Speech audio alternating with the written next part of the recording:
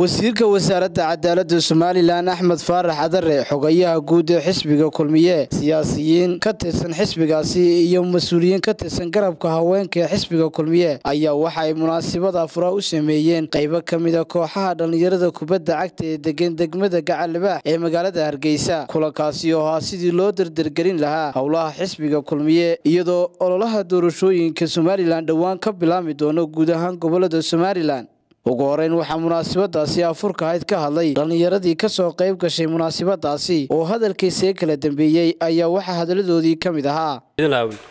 Waxaa inoo taalaa hadal maahee waa shaqo. Waxaan intaa ku dari lahaa weli bal sidii marka hore maamulka iyo dhallinyartu ay isku xidhnaan lahaayeen horta taa gal hawsheeda. Haddii la helo in isku xidhnaado labada gruubkan maamulka kulmiye iyo dhallinyartu hadday isku xidhnaato wixii kale waa la qaban karaa waan maleynayaa. Taaginta waa xaaladii waxa xisbiga gelaya waa hawshii kaambeenka xisbiga la gelaya mar haddii xisbiga hawshii xisbiga kaambeenka la gelayo annaga door ahaan doorkii dhallinyarada doorkii cuqaasha haweenka intaba waxa weeye dee innagaa maanta inteenaasaa la doonaya inaan hawshii xisbiga inaan daadajino. Oo dee ka bilowno hawshii innagayna sugaysaa. Wixii xisbiga aan uga baahanay tale iyo tusaale aan iyagana uga baahanayna iyagana iyaguna wayna la garab joogaan hiyo hooba wayna la garab joogaan. Laakiin innaga xisbigii inaan ismuujino cuddeeda muujino inaan xisbigii kaalintiisii kaalintu taagan maanta aan ka sii laba jibaarno ayaan looga baahanya dhallinyar ahaan. Hadday noqon lahayd heer degmo heer gobol iyo heer qaranba. Xisbiga inaan ku yeelanaa waa mid muhiima madaxda xisbiga waxaan leenahay. Heer gobol iyo heer degmoba iyo heer qaranba xisbigii inaan xubno ku yeelanaa waa mid waa mid muhiima si runtii ah. Intaasi kadibna waxaa iyagu dhankooga ka hadlay mas'uuliyiintii xisbiga kulmiye oo soo dhoweeyey dhallinyaradani. Iyagoo ka hadlaya ayaa waxay yidhaahdeen markaa maanta kaarkiina inaad meel dul dhigtaan. Meel saarta. Ila rag kalea jiro jaalaanji dhinac kale ka soo jeeda. Oo dhinac kale ka dagaalamaya. Waynu isla garanaynaa. Markii horena xaggan ahaa waxa weeye maanta maanta waxay taagan tahay. Waa kama dambaysa weliba nin mujaahida oo isboortiya oo garanaya oo wax walba oo aad idinku aad doonayseen fahma ayaan rajaynayna inuu yimaado marka waxa weeye maanta maanta waxba ha aniga abaalkayga wuxuu noqonayaa codkasta aad u dhiibtaan.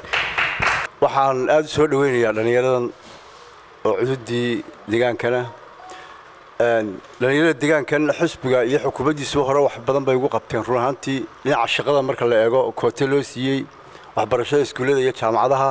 Iminkana siyaasadda xisbigu waxa weeyaan in aynu halkii kastii aanba qaadno oo door intii ka roon oo ka ballaadhan aynu xisbigu uu ku darsay siyaasaddiisu ay hadda ku jirto ayaan idinku ballan qaadayna taana idinku baraarujinaynaa olihii doorashada soo dhow. Waxaan taageeraa inaan ka hadlo xuquuqda dhallinyarada. Dhallinyaradu waxa weeyaan isha keliyaata ee waddanku u baahan yahay. Waxa weeyaan nimanka waddanka inay wax tari doonaan.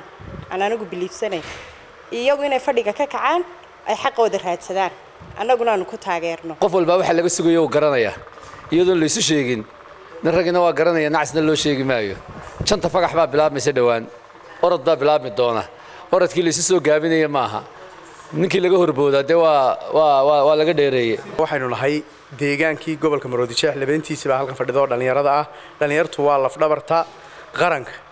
Dhallinyartu xusbiga ay raacdaa waa guulaystaa iyo haweenkuba waxaan leeyahay maanta waxaynu taagannaha xilli tartan oo la kala badinayo. Tartankaasi idii noqon mid aad dib uga habsaantaan.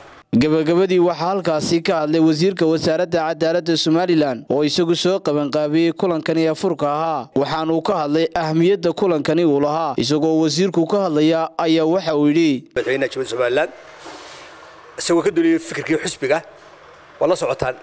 Deegaankan qaybta soo gaarsiiyey markay noqoto xagga waxbarashada iyo markay noqoto xagga farsamada taana waa uga mahadnaqaynaa waana ku mahadsan yahay xogayaha guuda xusbigu inuu ballanqaadkii imika ay ku jirto imikana xusbiga hadafka xusbiga in halkaasi laga sii kordhiyo. Waxaan odhan lahaana shaqadeennu gaarka u lahayn yaanay dayacmin oo aanay dee oromiyada kale naga qaadine aynu fikirkeeda la timaadaanoo xusbiga iyo xukuumaddaba la hoos kaashataanoo aynu gaarsiino waa meelaha ugu dhaqaalaha badan wax ka soo geli kara ee shaqa warka ugu badana. Halkaa ayaanaynu ka tegin dhaqankeennii taasi waa iga dhiirigelin hawshan bilaabantay maanta ee laga wada waafajiyaynu isugu nimi. De waxa weeyaan qarankan tacab buu geliyey in diiwaangelintii la geliyo. Juhdi baa inaga galay. Kaararkii diiwaangelin baa la sameeyey. Iminkana waxay taagan tahay. Dadkii aynu juhdigaa gelinay kaadharhkiisa u qaadan lahaayeen. Waxaa laydinka fadhiyaa intiina halkan fadhiya iyo inta ku sii xidhanaba inaydu farsamadii iyo tiknikiskii lagu howlgeli lahaa ee qof kastoo kaarhkii diiwaangelin sameeyey uu qaadan lahaa inaynu dee dhiirigelino cawid ku dhiirigelino runtii ayuu daaran yahay afurkani xikmadda ugu miisan runtii waa taa. Maha la odhan maayo maanta xusbiga ka tihiin waa la ogsoon yahay. Kaalinta ka soo qaadateen roolkaa ku leedihiin. Cidna ka baryi maysaan waxa xaq u yeelataan waxaa gashataan ayay ka dhalanaysaa markaa juhdiga iminkaa gelisaan wuxuu ka tarjumi doonaa. Gorgortanka xusbiga waa ka madaxweynuhu sare xusbiga la fadhida.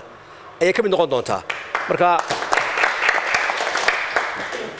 waxaa la yidhi de wasaa uu sheegay saaxiibkay maxamed albire dee faraskii waa la sii daayay iminka laga bilaabo markay marxadan ay dhaafto waxaa bilaabmaya diiwaangelintii marodi jeex waxaynu u baahan nahay inaynu juhdi intay leedahay aynu gelino.